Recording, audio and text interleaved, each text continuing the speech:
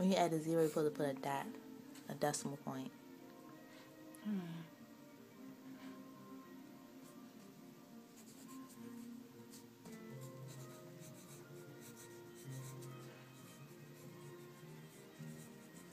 So the answer is 0.8.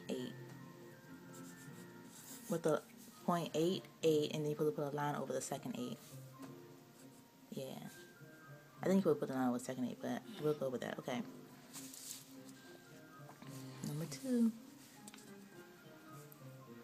Yasmin and Kathy are in a jumping contest.